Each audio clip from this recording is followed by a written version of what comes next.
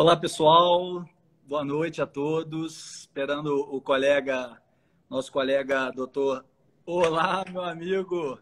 Tá me vendo? Estou te vendo perfeitamente. Deixa eu só ajustar a câmera aqui, esperar um eu pouco também. das pessoas entrar. Já tem vários colegas entrando. Deixa eu só ajustar um pouquinho, afastar um pouquinho a câmera. Bom, é... vou começar te apresentando, né? Para mim foi uma honra o convite é, doutor Antônio Graziosi, um colega de São Paulo, é, membro titular da Sociedade Brasileira de Cirurgia Plástica, mestre de cirurgia plástica pela Unifesp e active member da ISAPS, que é uma sociedade americana de estética. Então, assim, é um grande cirurgião plástico, um colega, e eu tenho certeza que, que vamos ter um bate-papo aqui bem interessante. Muito obrigado pelo convite, Flávio. Tá me, Muito tá feliz tá me ouvindo bem, né? Muito Prazer. bem, estou vendo bem, a imagem está ótima. Então, vamos começar. Já tem, já tem bastante gente entrando. É... Nós vamos falar sobre tratamentos faciais cirúrgicos e não cirúrgicos. Né? É... Como que na sua prática diária, né, no seu consultório, lá na sua clínica, seja o paciente não cirúrgico ou cirúrgico, você avalia esse envelhecimento, como você conduz o paciente que quer buscar no tratamento facial uma melhora dessa da área facial, né? Que é uma área tão complexa, tem tantas áreas dentro, sub, sub, subunidades dentro dela, que como você conduz isso? Bom, é, eu acho que tem alguns pontos que a gente pode ser considerado. Você, o tema fundamental é os procedimentos menos invasivos quando você usa e os procedimentos cirúrgicos são mais invasivos. Nesse ponto, eu acho que nós precisamos olhar de uma maneira um pouco mais ampla e achar que nós, antes de sermos cirurgiões plásticos, dermatologistas, nós somos médicos. E nesse momento nós temos que oferecer o que há de melhor para o nosso paciente. E esse, é, esse o melhor que nós podemos oferecer vai mudando com o tempo. A medicina vai evoluindo, as condutas vão, os, os tratamentos mudam, se aperfeiçoam e nós vamos adaptando a nossa eh, indicação. Isso como ponto de partida. Um outro ponto eh, que eu acho importante é algumas situações que notoriamente não nos deixam muita escolha. Por exemplo, o paciente não tem condições clínicas para ser submetida a um procedimento cirúrgico.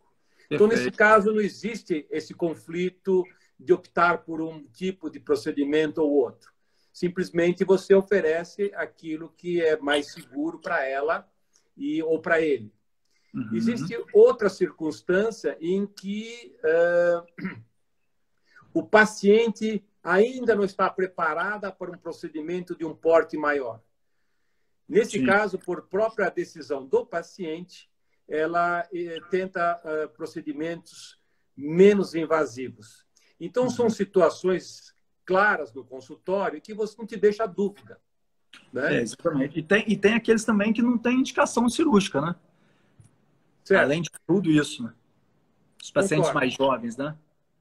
E aí, eu, eu talvez tenha um, um ponto que uh, você talvez tenha convivido com isso, são aqueles pacientes borderlines, vamos dizer assim, aqueles pacientes Sim, que poderiam que tanto ser tratados isso. Então, você trata com paciente... procedimentos mais cosméticos quanto com cirurgia. E aí Exatamente. está um, boa, uma, uma, uma ponto, um ponto importante da, da relação do médico e paciente para que você consiga detectar com o seu paciente qual que é a melhor alternativa para ele. Exatamente. São situações que você pode beneficiá-lo tanto com um quanto com o outro. É o que eu vejo muito, assim, eu acho que, eu acho que o mais difícil talvez sejam, sejam esses pacientes, os borderlines.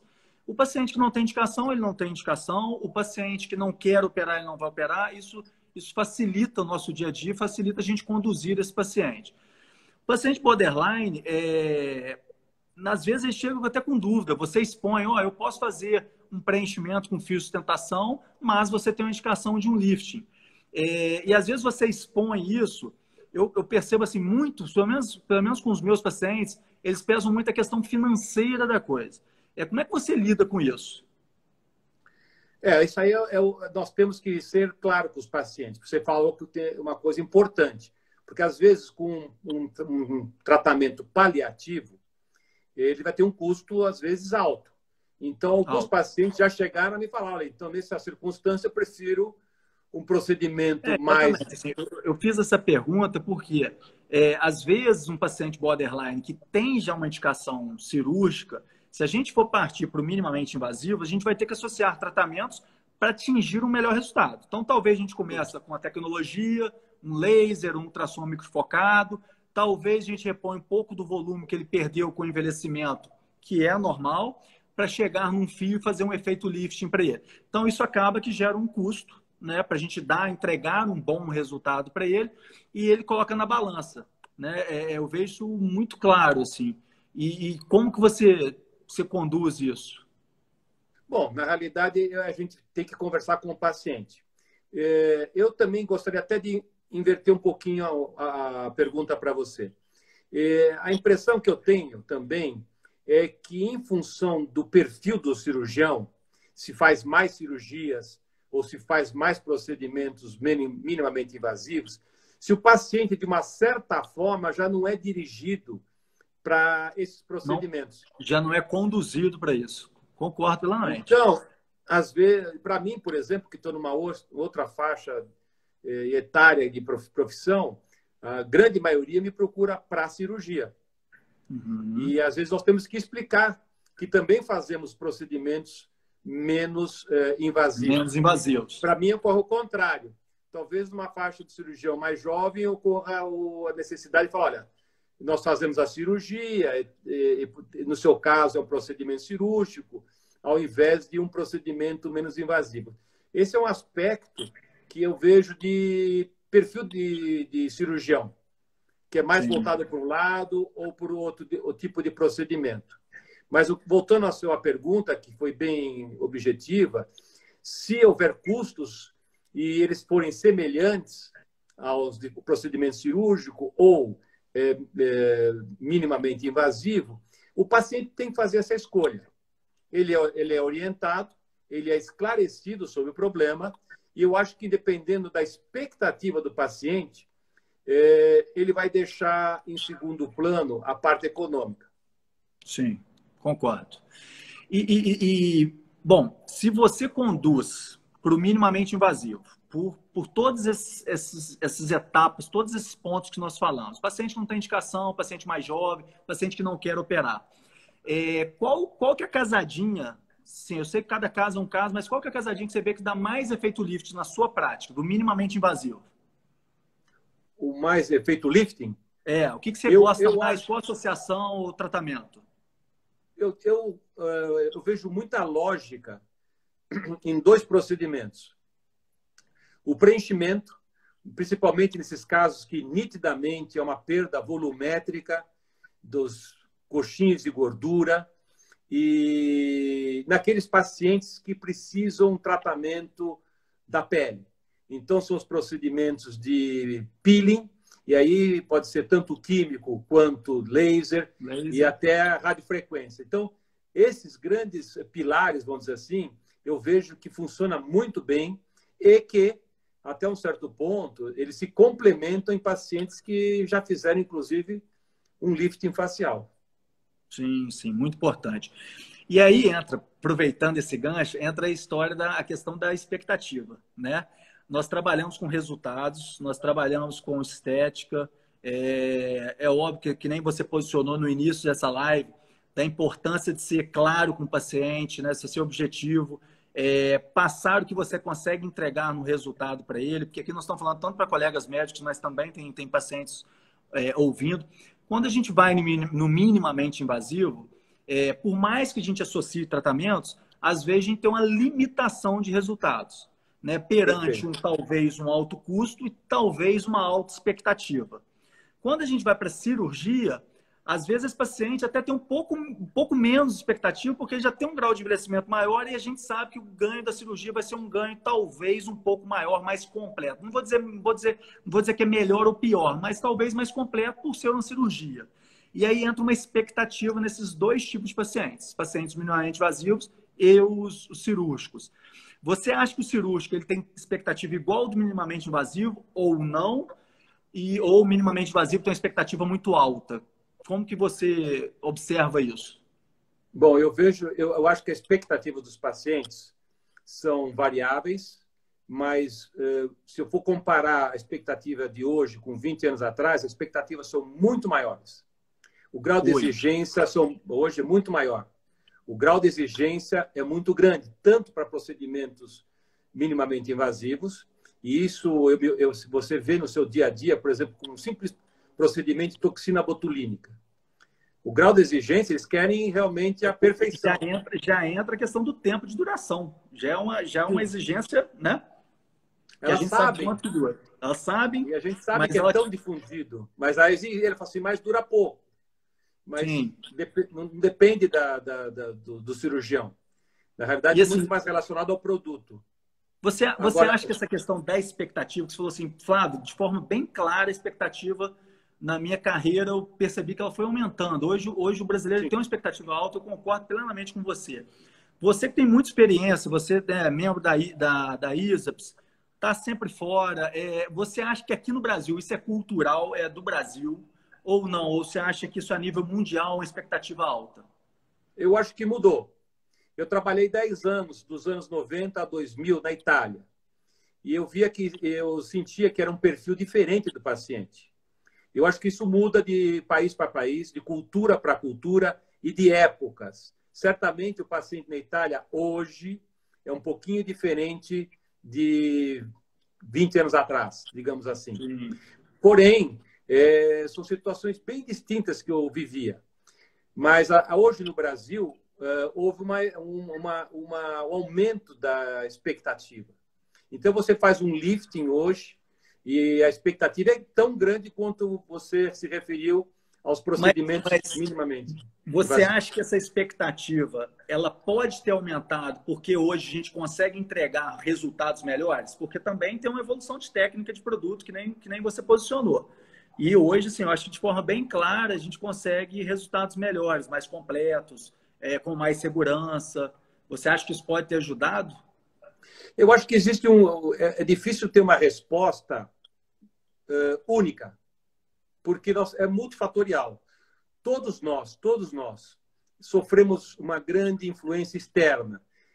Externa significa informações que a gente tem. Então, hoje, os pacientes têm informações do Brasil, têm informações de outros estados, informações de outros países, amigas que moram em outros países. Isso é a troca de informação. E temos também um grande problema, às vezes, que é a, a, o exagero de, de manipular a imagem eh, por meio de fotografias no Instagram ou no Facebook. Isso cria uma expectativa que então, está um eu, pouco eu, fora da realidade. Ia ser minha segunda pergunta, Graziosa, é porque assim, entra o modismo, né? Você deu o gancho para mim que eu ia fazer essa pergunta. Como a gente sabe que o modismo ele leva por, digital influencer, é, toda a mídia, a maioria das revistas, a gente sabe que trabalha com, com, com programas de Photoshop, de manipulação de fotos, para deixar aquela foto perfeita, corrigir imperfeições corporais. E aí entra o modismo junto com uma expectativa. Né? É, e essa balança, até um ano e meio atrás, na França, eles proibiram qualquer divulgação que tivesse alteração de fotos, a não ser que tenha divulgação, alteração da foto, mas que na foto, naquela propaganda, venha é, falando que aquela foto foi alterada. Né? Exatamente para aumentar muito a expectativa de, de, um, de um paciente e quando ele chega para nós, a gente não consegue entregar aquela, aquela não realidade. Você, você concorda com isso? Sim, eu, eu acho que aí é, nós temos uma vantagem. Como nós todos viemos medicina, cirurgia geral, cadeira cirúrgica, depois é, cirurgia, três anos de cirurgia plástica, com cirurgia reparadora, estética. Isso te dá uma base para você ficar sempre com os pés presos ao que é médico. A gente não pode entregar uma coisa que é fora é, da nossa capacidade de realização. Então, os riscos a gente tem que medir, tem que com, é, de, compartilhar com os pacientes. E quando vem um paciente com uma expectativa fora é, daquilo que a gente pode fazer, normalmente eu tento trazê-lo para aquilo que é a nossa realidade. É a realidade. Ou seja, é a verdadeira conversa franca, né? Ser honesto e passar de forma bem clara o que a gente consegue realizar, o que a gente consegue entregar. Você segue. Eu, segue eu vejo nisso, eu vejo nisso um fator é, a favor do médico, porque Sim. o grande vantagem do médico numa carreira longa, eu acho que é a credibilidade. Sim. E você constrói a credibilidade é, conversando com seus pacientes e falando a verdade. E os pacientes comprovando isso dentro do, do seu procedimento, do atendimento que você dá no pós-operatório, isso gera um vínculo forte. Então, Sim. quem vem no seu consultório sabe que o doutor Fábio fala a verdade, ele é uma pessoa é, você acaba, você acaba até aproveitando que tem muitos colegas assistindo a gente, você acaba fidelizando o paciente. Né? A verdade é essa. Às vezes, assim, às vezes você, é, é, o paciente vendo a, a, realidade, você mostrando o seu resultado é, perante aquilo que você propôs, perante aquilo que você fez, você só tem a fidelizar seu paciente. Né? Às vezes, propagandas enganosas, é, falsos resultados, o que é, isso dura pouco, né? Isso vai acabar sendo. É, é, é, é uma é, curva ascendente né? rápida e descendente rápida também. Exatamente, exatamente. Mas, de qualquer Entrando... forma, é uma maneira de trabalhar, né? Isso, concordo plenamente. Entrando já um, agora um pouquinho no mundo né, dos procedimentos, é, essas grandes volumizações, é, né, que a gente vê muito em mídia, Instagram, é, profissionais colocando grandes volumizações, principalmente com preenchimento com ácido hialurônico ou às vezes até com os preenchedores não absorvíveis. É, o que, que, você acha? O que, que, você acha disso? Você concorda? Não concorda? É, como você vê isso? É, eu, eu gostaria de dar uma chance para você nesse sentido e saber. É, eu tenho uma opinião porque eu, vive, eu vivenciei algumas é, fases. depois eu gostaria de devolver para você. A primeira fase que eu vivi foi uma surpresa, que eu estava na Universidade de Nova York, era o Thomas Rees, um cirurgião plástico chefe lá da, da disciplina naquela época, e eles tinham pacientes que, por exemplo, hemiatrofia facial preenchidos com silicone líquido, bem antes, bem antes dos preenchedores que nós temos agora. Eu era, eu era eu era apenas terminado a residência. Então eu vi a evolução de tudo isso, né? Mas hoje nós estamos vivendo uma época um pouquinho diferente. O que eh, me chamou a atenção dentro dessa história também, e por ter trabalhado na Itália, eu via que esses exageros eram bem-vindos, principalmente pelas atrizes de televisão na Itália, que nós ainda não tínhamos importado essa moda. Então, aí eu te devolvo a pergunta. É, você acredita que isso seja uma, um novo tipo de beleza? E que se admite esses preenchimentos dessa forma? Não, eu, eu não acredito, não. Eu acho, que, eu, eu acho que acaba sendo uma má indicação. Eu acho que quando você tenta resolver um envelhecimento pensando num único tratamento e com grandes, grandes volumes, nós estamos falando assim, 12, 15, 16 seringas, 20 seringas que a gente ouve falar, né? É, a minha média, eu acho assim, o que, que eu acho? Primeiro, então, acho assim, má indicação. É, segundo, como você consegue entregar o melhor resultado com, me, com menos procedimentos? Eu acho que a gente tem que ser é, mais simples, porque, querendo ou não, são produtos sintéticos. Né? Cada organismo reage de uma maneira.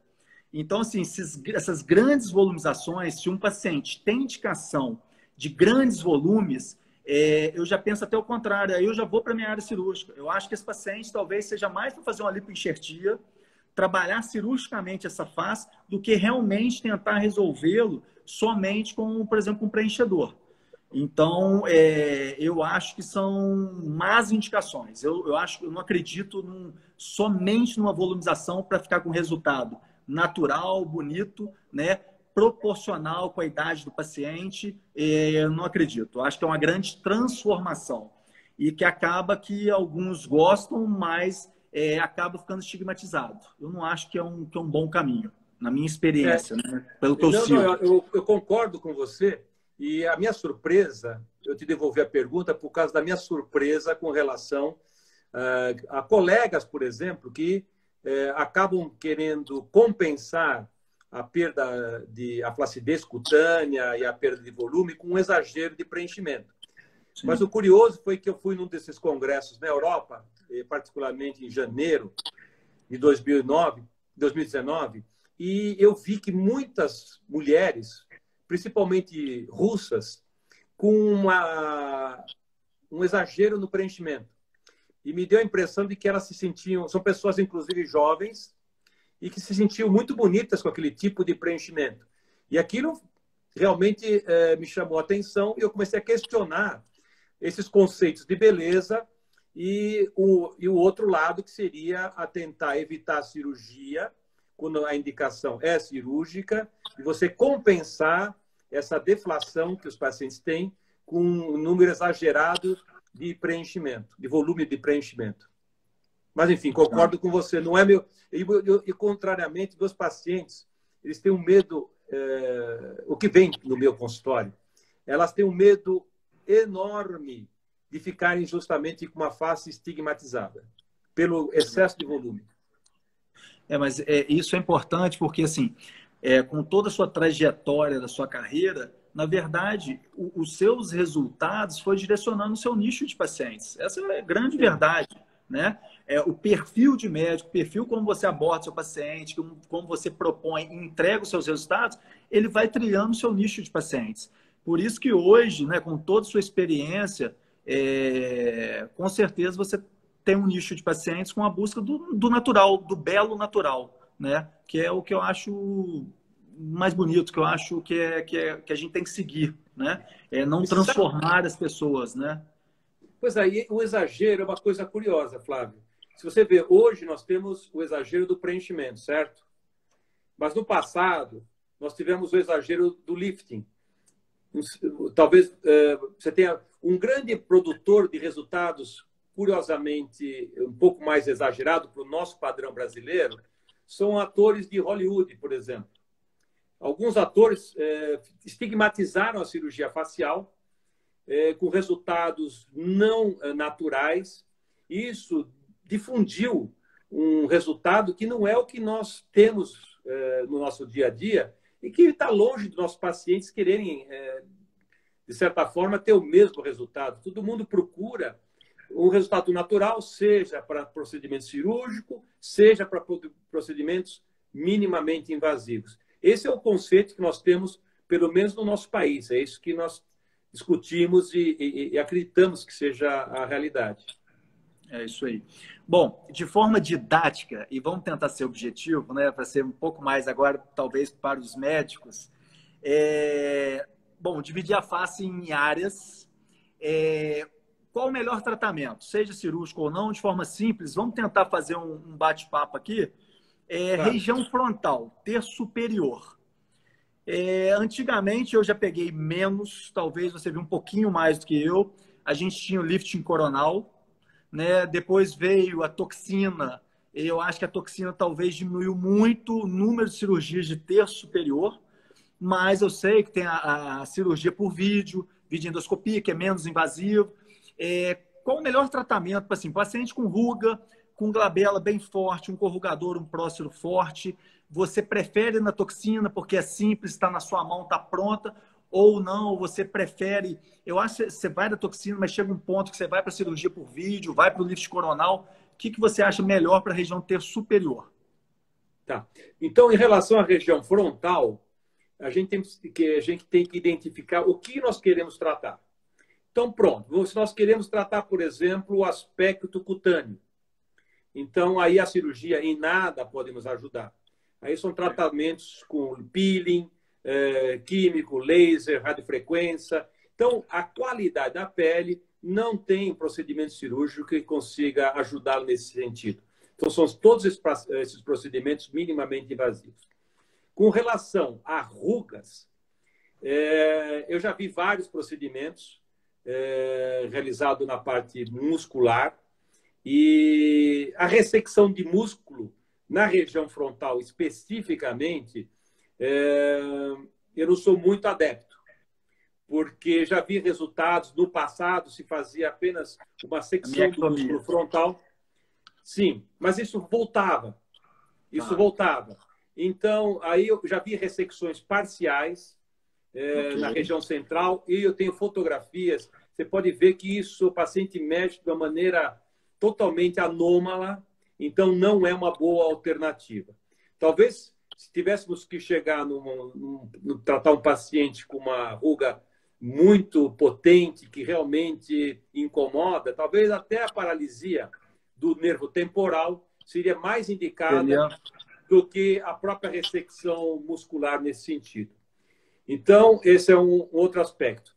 Nos casos mais leves, é, eu acho que a toxina botulínica preencheu um espaço muito grande, porque ela é pouco invasiva, ela tem poucos efeitos colaterais, então leva uma certa vantagem. Existe ainda um outro problema que é o posicionamento do supercílio. Aí eu acho que a cirurgia leva muito mais vantagem do que a toxina botulínica. Porque a toxina botulínica ela tem uh, uma, uma, uma atividade mais efêmera. E aí eu acho que a cirurgia é extremamente válida. Com relação à parte da musculatura mais central, corrugador, aí é uma situação que eu também peso. Eu, eu normalmente começo com, o, é, com a toxina botulínica. Tá. Mas tem pacientes que falam assim: olha, eu não aguento mais é, ficar fidelizado na toxina, eu prefiro um tratamento definitivo. Aí a videoendoscopia tem uma função muito boa com a ressecção desse músculo, mas é uma ressecção definitiva. É, se nós começarmos a. Bom, aí então essa seria mais ou menos a região frontal. É, e, e, assim, o, o interessante que hoje, né, é, depois de a gente tentar ao longo dos anos passar, a gente vê que assim, a toxina tem um grande papel na prevenção também, né? É, então, assim, ela, os pacientes tratando, iniciando a toxina com 30 anos, provavelmente vai chegar com 60 sem indicação de uma cirurgia de, de fronte. É, você, você percebeu essa queda do número de cirurgias por conta da toxina botulínica que está sendo é, super divulgado? Acho que é um dos primeiros tratamentos que a gente faz no consultório. Você acha que teve uma queda de cirurgia dessa região? Eu não saberia te dizer em termos de queda de cirurgia, porque eu acho que durante todos esses anos as indicações mudaram, né? Uhum. As indicações, como você bem disse, a, a cirurgia coronal era o que se fazia, ainda tem hoje nos Estados Unidos, muita gente faz cirurgia coronal. Mas no nosso meio, nosso meio, os pacientes não aceitam com facilidade aquela cirurgia. Eu, por exemplo, tive muitos pacientes que, é, que vieram para fazer a cirurgia de pálpebra, mas o cirurgião corretamente indicou a elevação do supercílio, supercílio. porém por via coronal. É, isso, então, isso é importante. Dessa cirurgia. É, isso é importante, só te complementando, que para os pacientes, né? Às vezes o paciente chega pensando que tem indicação de blefaroplastia, seja uma sensação de excesso de pele na pálpebra superior, mas quando a gente vai avaliar esse paciente, ele tem uma pitose, uma queda da sobrancelha, que dá uma falsa sensação. Então, assim, para nós, cirurgiões, falando de termo técnico para os pacientes, a gente sempre avalia a posição da sobrancelha para pensar na cirurgia de blefaroplastia. Não é isso, Graziano? Perfeito, Fábio. Eu acho que isso aí, é... houve períodos que os cirurgiões faziam mais, depois fizeram menos, mas nos dias atuais, eu acho que essa conjunção, é, posicionamento do supercílio, excesso de pele de pálpebra superior, está muito evidente. É, então, eu acho um equívoco tentar compensar essa queda do supercílio ressecando pele palpebral. E isso talvez, isso eu muito no passado, em que no momento em que você tenta corrigir a queda do supercílio fazendo uma elevação deles, se você tirou muita pele da pálpebra, você vai deslocar a cicatriz para um local muito evidente. Ou Sim, seja, né? inviabiliza né? a sua correção. Inviabiliza, porque você não consegue mais tracionar. Mas eu vi isso no passado, agora menos. Tá. Aproveitando, desculpa, só para aproveitar que eu acho que talvez pode, pode, isso seja uma informação importante. Hoje, se o paciente ele não está preparado ainda é, de uma maneira psicológica ou com informação para realizar a cirurgia da região frontal, eu pelo menos aviso que uh, eu deixo um pouco de pele é, na região palpebral para evitar esse problema no futuro. Então, eu explico. Isso evita que o paciente não tenha essa alternativa quando ele entender que precisa fazer uma elevação, um, um brow lift, uma cirurgia de supercílio. Bem, muito bem colocado, Grazioti. Bom, falando de região da região peripalpebral, região da órbita, é, eu acho que assim, tanto essa região da área dos olhos quanto perioral, eu vejo que é uma das áreas mais difíceis da gente atingir bons resultados com minimamente invasivos. Talvez para nós, sendo cirurgião plástico, a gente consegue chegar, dependendo do grau de flacidez, do tratamento que tem que ser feito, da blefarocalase, a gente vai numa cirurgia. Né? Mas a gente consegue observar que pacientes com 40, 45 anos não tem indicação precisa de uma blefaroplastia superior ou inferior, mas que já queixa da flacidez, né? É... Como você lida com esses casos? Você vê assim, não é cirúrgico, mas o paciente já tem uma queixa de flacidez dessa área, né? Aquela pelezinha craquelada, aquele excesso de pele leve, mas que atrapalha, por exemplo, numa maquiagem numa mulher. Que, que, que você gosta é de fazer? Eu acho que você colocou muito bom. Esse é um tema que interessa não só o público leigo, como é uma discussão de congresso de cirurgia plástica, de experts. Acho que essa é uma pergunta muito importante. Eu vejo da seguinte forma: a cirurgia plástica palpebral é, assim como também a rinoplastia, a cirurgia de nariz, são duas cirurgias que, em particular, elas têm um inimigo em comum. Chama-se retração cicatricial. Então, a pálpebra, nós temos que fazer de tal maneira essa cirurgia que a, que a gente minimize esse fenômeno cicatricial. Por quê? Porque ele vai deformar o nosso resultado. Então, a retração cicatricial é um problema. Sim. Muito bem. Então, nós temos que ser relativamente conservadores como princípio na cirurgia plástica palpebral, de tal forma que nós não tenhamos esse problema com o decorrer dos anos no pós-operatório. Então, pegando a linha sua de raciocínio, eu acho que houve uma evolução. Porque se você consegue, é, com procedimentos minimamente invasivos, é, tirar aqueles sinais de envelhecimento, eu acho que está justificado. Né? Aí, se você está dentro da, de uma área que você pode dar uma aula para nós, que são os cuidados que isso tem que ser realizado. Mas o conceito eu acho extremamente válido. E isso se transfere também quando você está fazendo a cirurgia. Você Sim. tenta ser bem conservador, você pode utilizar as próprias bolsas de gordura para preencher esses locais que estão faltando é, volume e que você, em outra circunstância, pode preencher com algum produto para dar volume. É, eu acho assim, é, que eu vejo aqui na clínica, os pacientes que não têm indicação cirúrgica para essa área palpebral, eu acho assim, bioestimulador nós não podemos usar, né? Preenchedor G' baixo, ou seja, aqueles preenchedores com baixa densidade na goteira lacrimal. Então, assim, é muito específico para a área do tier trophy. É, pensando em pele, né, aquela pele fina, que já está craquelando, que já está marcando, acaba que a gente restringe muito o tratamento para os lasers, né? É, para estimular colágeno, dar mais firmeza, melhorar a qualidade da pele.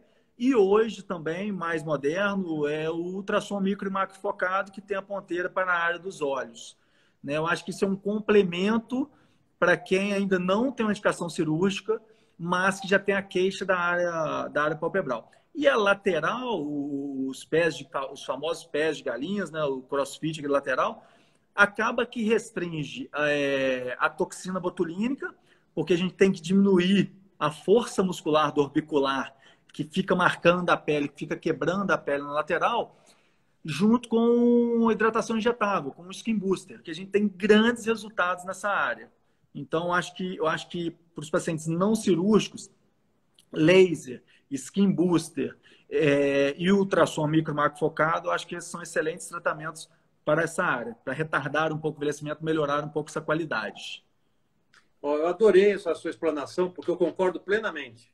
Eu acho que esse exatamente é uma situação naqueles casos com uma boa indicação, que não que a cirurgia não vai favorecer. Então você colocou muito bem e que os resultados são muito superiores da, da cirurgia. Agora, eu queria, não sei se nós teríamos tempo para isso, mas eu queria explorar um pouquinho só essa região quando você falou de preenchimento.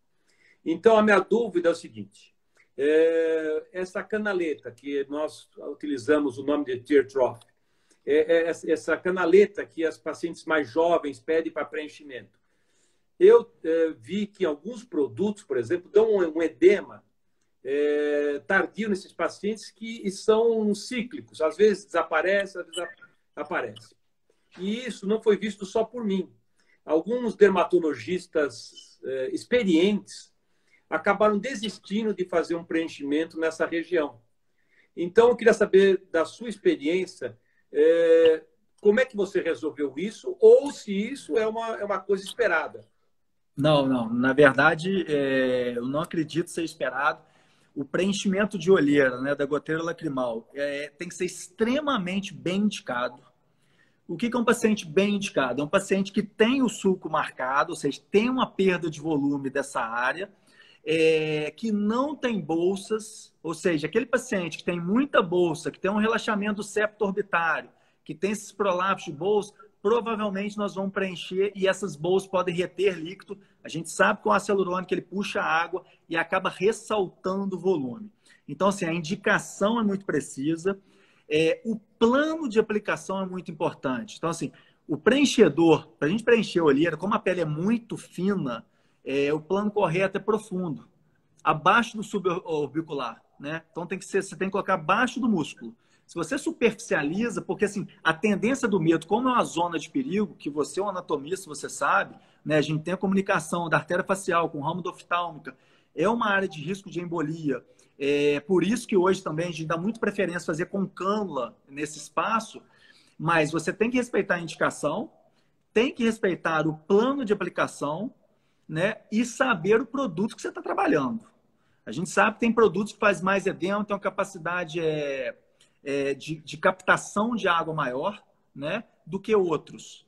É, isso, é, esse edema pós-procedimento que se mantém, ele pode ser, né? Por um preenchimento superficial, ou seja, técnica errada, quantidade errada, é, é, é um preenchimento que a gente tem que sempre subcorrigir, tá?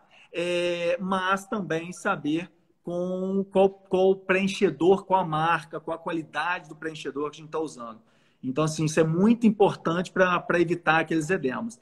Mas a indicação existe, a gente faz, realiza com segurança e tem, conseguimos bons resultados. Perfeito. Ok? Vamos da sequência aqui, falamos da região da órbita. É... Vamos para a face, né? É minimamente invasivo ou facelifting é a sua, a sua área que você, você brilha sempre, está sempre nos congressos falando para a gente. É, pacientes com, com pitose facial, sulco marcado, você vê que teve um deslocamento dos coxinhos gordurosos, perda de volume, é, aquele paciente que chega querendo, querendo a cirurgia. Como você acha que hoje o lift, né? O que você, o que você acha de melhor do lift hoje? Eu sei que cada caso é um caso, existe várias técnicas, mas como você aborda o seu paciente? Né? Falando para os colegas eu, aqui, temos muitos eu, colegas. Eu até, é, é, eu até eu queria falar, como você colocou, o lifting especificamente e o rejuvenescimento facial, né? Que na realidade até o nosso querido Tom Biggs falou assim, talvez a gente tenha que mudar o nosso, nosso, o nome desse procedimento para uma melhora facial. Por quê? Porque eu, eu vejo isso como três pilares conjuntos para você ter um rejuvenescimento. Na flacidez, uh, o grande, a grande arma que nós temos é, sem dúvida nenhuma, a cirurgia. E aí nós vamos focar, dar, dar essa resposta para você. Um outro pilar muito importante é por que, que ocorre toda essa queda? É muita perda de volume. Então, os tecidos acabam descendo. Então, a reposição de volumétrica desses pacientes que nós sabemos fazer muito bem o diagnóstico é muito importante junto com o lifting. E o terceiro pilar é aquele que nós discutimos, que são é, tratar da qualidade da pele. E aí você associa laser, radiofrequência, peelings e tudo mais. Então, são as três, três colunas que norteiam para a gente ter um bom resultado no rejuvenescimento facial. Em relação à face, por exemplo, hoje nós temos o, o tratamento profundo, né? Normalmente a gente trabalha muito mais hoje a tração dos tecidos mais profundos do que a pele. Eu isso é ótimo. E ótimo você falar por causa dos pacientes para ouvirem. Eu, eu, eu, vivenciei a pele, a tracionar só a pele, né? E que teve resultados. Incrivelmente, grandes cirurgiões com nomes, todos faziam a tração cutânea por muitos anos, principalmente nos anos 70 e 80. A grande maioria no Brasil fazia o escolamento cutâneo e tração. Quando tinha uh, pacientes que é, cujo diagnóstico e anatomia eram favoráveis, é, só para tração de pele, os resultados eram bonitos. Mas pacientes que fugiam um pouquinho dessa, dessa anatomia já não eram tão bons os resultados. Então, hoje nós sabemos que nós temos que tratar profundamente a face. E aí eu acho que não, talvez não fosse o caso de determinar o grau de, de profundidade, nem o, o, a extensão desse, desse descolamento profundo.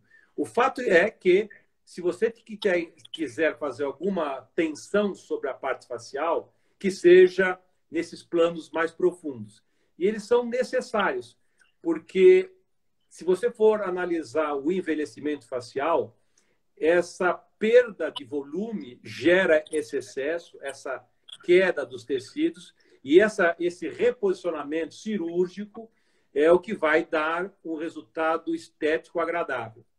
Se o seu paciente precisa uma, uma, uma, um complemento de volume, nos casos de cirurgia, eu prefiro fazer um enxerto de gordura.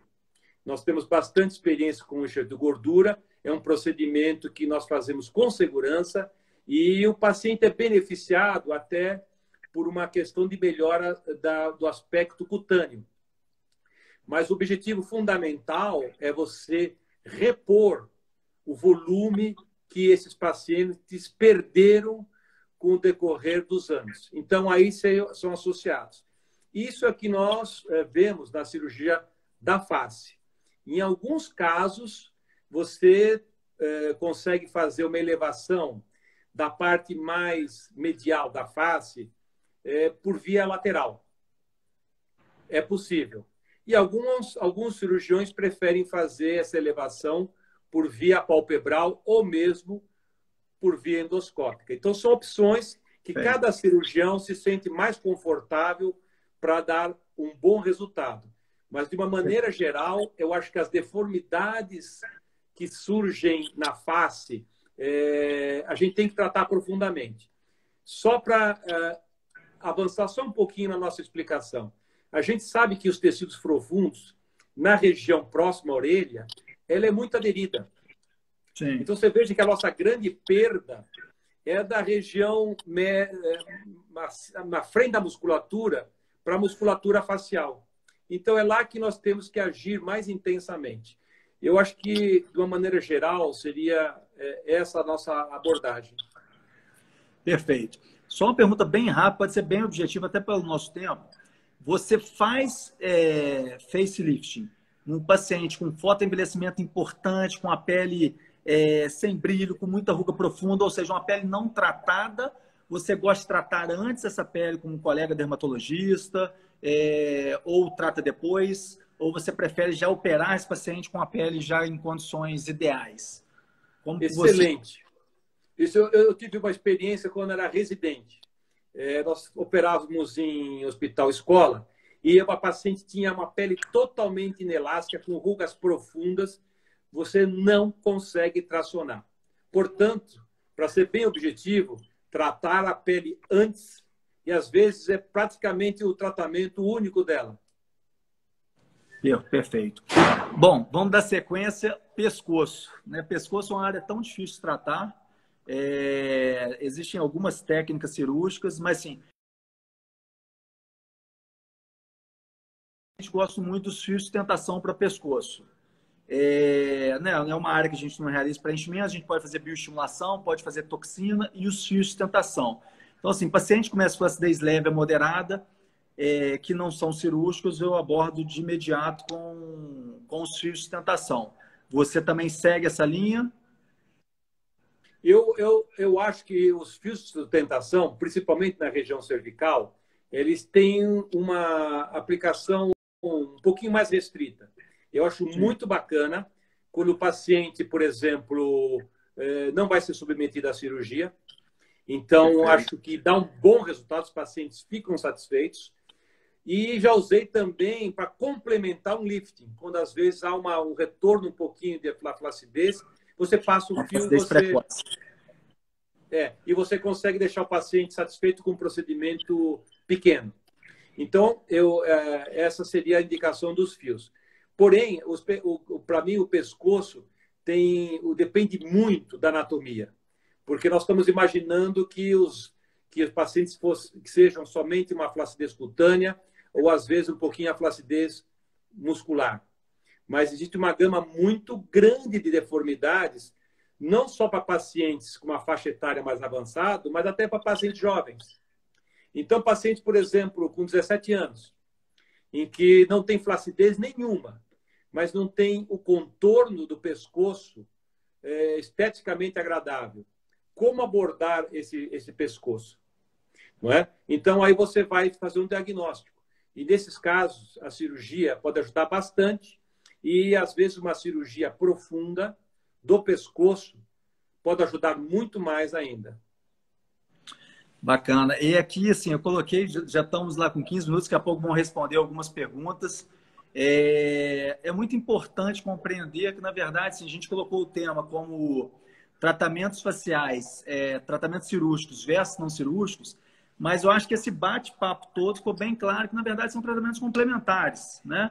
Não é um tratamento ou outro tratamento. Às vezes, para chegar num bom resultado cirúrgico, a gente tem que utilizar dos tratamentos cosméticos, dos minimamente invasivos. É, ou até mesmo, às vezes, pós uma cirurgia, que nem você relatou agora, às vezes paciente com a pele muito fina, que você fez um lift, mas está perdendo um resultado de uma forma mais precoce do que a gente desejava, você atua com um fio de sustentação para já dar, né, bioestimular, fazer uma atração naquela pele. Então, assim, eu acho que essa é a grande dica para todos os colegas que estão aí, para os pacientes também entenderem que como eles se complementam, né? Trabalhar com eles de forma é, é, única, é, a gente só tem a agregar os nossos resultados. É, aí eu acho que a gente volta no nosso ponto de partida. Nós somos médicos e a gente tem que escolher o que é melhor para os pacientes. E dessa forma eu concordo totalmente com você. Nós estamos agregando alternativas. Você mesmo falou uma coisa muito importante: o uso de fios, que você usa o fio. Mas há de se chamar a atenção que nem sempre o fio de sustentação é igual à qualidade que nós temos hoje. Então, Sim. a qualidade do fio, que hoje é absorvível, tem um resultado muito melhor do que no passado, quando ele era inabsorvível. Inabsorvível, sim. Né? Os fios polipropileno. É, é, a gente teve uma grande evolução nos últimos seis, sete anos para cá, que os fios se tornaram absorvíveis com materiais que bioestimulam também. É, bom, vamos para as perguntas. Está voltando aqui 13 minutos para encerrar. Bate-papo está tá muito legal. Primeiro, vamos agradecer ao doutor Orido, né? Ele está parabenizando a gente pela iniciativa. Um colega nosso, você conhece, colega nosso aqui do Rio. Orido pai, Orido filho, dois amigos. É, obrigado, tá? Mônica Aribe, parabenizando ah, a gente. Colega nossa aí de São Paulo, dermatologista. Sinara. É, a Sinara fez uma pergunta, ela coloca é, qual mais ou menos a porcentagem de procedimentos não invasivos que vocês fazem hoje em dia em comparação com os invasivos? Olha, eu, eu, eu, eu, tenho uma resposta bem objetiva. Isso não é possível responder porque depende do tipo de paciente que você tem e da indicação. Então, você viu que as indicações, é, às vezes, para o paciente, é, tem indicação do paciente é, cirurgia, mas ele prefere o minimamente invasivo. Então, esse percentual, eu acho que é bastante variável, de difícil mensuração. Tá, ótimo. É, assim, na minha prática, é mais ou menos meio a meio, 60% cirurgia, 40% minimamente vazio, mas fica em torno de 50-50. Assim, eu faço muito minimamente vazios, é, mas talvez pelo nicho, pacientes mais jovens, é, provavelmente. Né? Eu também sou, eu tenho, tenho na clínica lá junto com o dermatologista, então a gente trabalha muito com sustentação e tenta prorrogar. Muito, muito paciente que não quer ainda uma cirurgia. Mas eu acho que concordo com você, eu acho que é difícil responder eu, eu, eu respondi de uma maneira isso. geral. Na minha isso. clínica, sem dúvida, o número maior, para o meu caso específico, é cirurgia. É o que eu faço Perfeito. mais. Perfeito. Paciente Rosenir, ela pergunta para a gente que ela tem um desejo de preencher é, mais com gordura. Você acha que você acha superior? Eu sei que é difícil também essa resposta, né? Eu, como cirurgião, eu sei que é difícil. É, mas assim, eu vou falar, eu vou responder primeiro, depois você pode responder. Eu acho que pacientes precisam de poucos volumes. Eu vou no preenchedor simples, rápido, está pronto, produtos seguros, absorvíveis, ácido hialurônico, ou a policaprolactona, o Elancê que a gente tem hoje, que preenche, bioestimula. Eu vou no preenchedor. Pacientes que são pacientes cirúrgicos, eu vou fazer facelifting, paciente que tem uma indicação de grande reposição de volume, eu vou para a lipoenxertia. É, você pensa dessa maneira também? É, eu acho que a gente podia abordar sobre vários aspectos, né? O aspecto mais científico, o que, que um pode oferecer em relação ao outro, etc. Mas, para ser objetivo na resposta, eu, no consultório, como você bem disse, eu prefiro os procedimentos injetáveis, que são práticos, são, não tem problemas de contaminação. E nos casos de gordura, eu prefiro fazer no centro cirúrgico. Bacana. É, tem uma última pergunta aqui da paciente Jaqueline. Jaqueline, ela pergunta se é possível corrigir a diastase do, do, do musculatismo com fio. Eu acho que eu posso responder, acho que, que não que não consegue, né? Impossível. Não dá para corrigir. A gente faz, a gente faz um movimento de pele, uma tração de pele, mas não é possível tratar diastase o afastamento do o afastamento do platisma com, com os fios. Então, posso... na verdade, os fios se servem para flacidez cutânea. Mas posso, né? talvez, eu acredito que ela tenha perguntado, quando ela falou da diastase, será que ela não estava querendo se referir às bandas platismais? Tá, é uma colega, essa até uma colega médica. Então, é, para quem tem banda platismal, né, aquela corda marcada na pele, que é um sinal de afastamento de platisma, a gente pode associar com o fio a toxina, tá? que é muito, aliás, uma casadinha bem importante, bem interessante, que eu falei até ontem na aula, é, porque ele enfraquece, a toxina enfraquece essa força muscular da borda do platismo que está afastado, e você entra depois com o fio fazendo a tração cutânea mas é, unir a musculatura na linha média com fio, com fio, com fio absorvível, fio de sustentação, não é possível. Mas consegue melhorar o contorno com, com fio, sim. Concorda? E a última pergunta é lipoenxertia. O resultado fica natural e é duradouro? De forma bem objetiva por causa do tempo? Eu acho excelente a lipoenxertia. E nesse caso eu posso responder com muita tranquilidade e com muita experiência, porque na grande maioria dos nossos lifts nós temos associado a lipoenxertia. Então os resultados são bons e certamente são duradouros, é, porque nós, é, à medida que é, nós fomos aprendendo a como tratar a gordura, o índice de absorção é bem pequeno.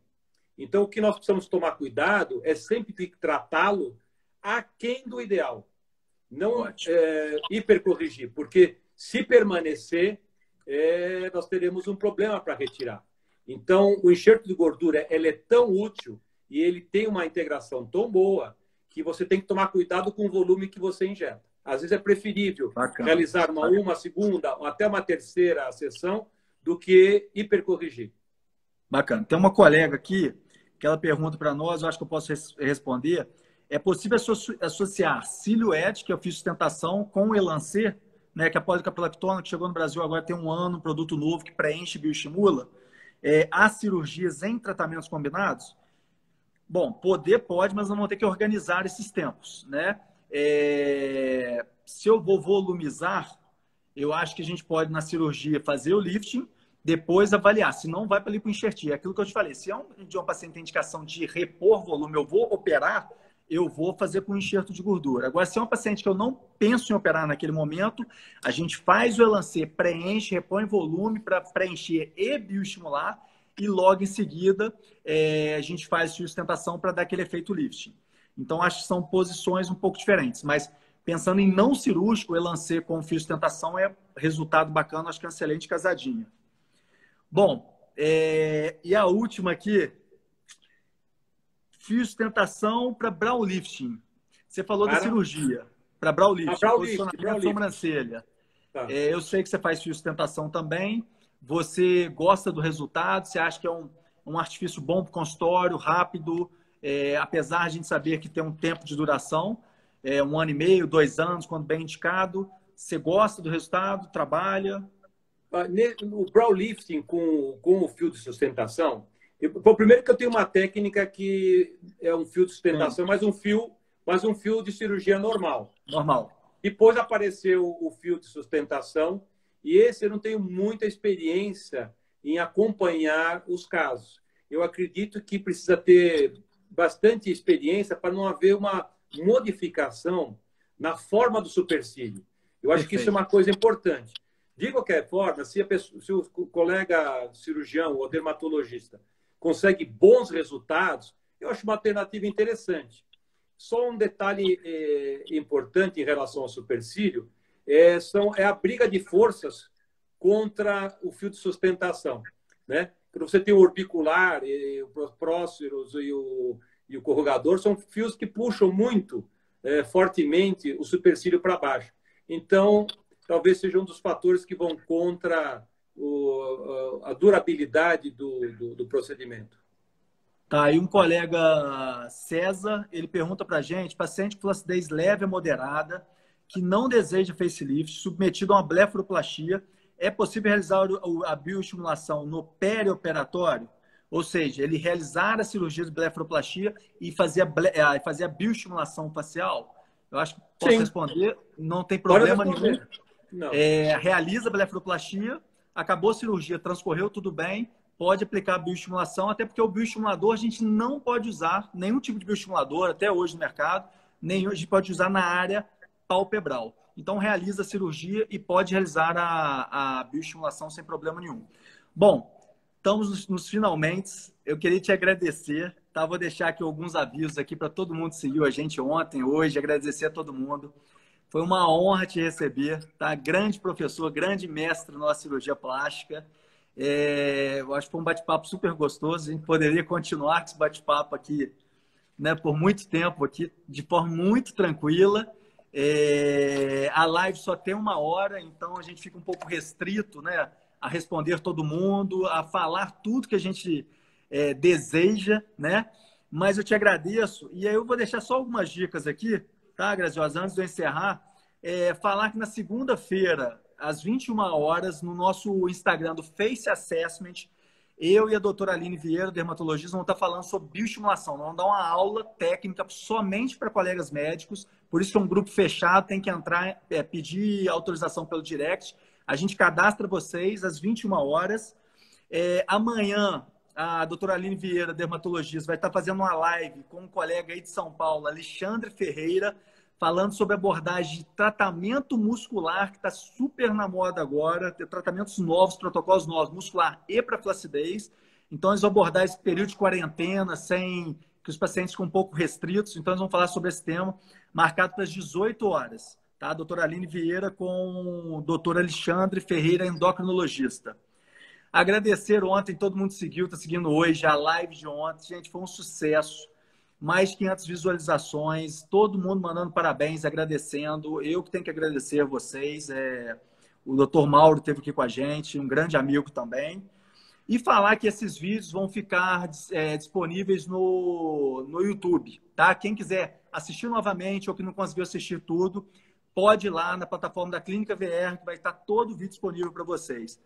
Graziosa, vou encerrar aqui que nosso tempo está na, na, risca. Obrigado a todos. Grande abraço. Eu hein? que te agradeço a gentileza, Prato. Foi um grande prazer. Um grande abraço a vocês todos. Um abraço, amigo. Tchau, tchau. Até a próxima. É,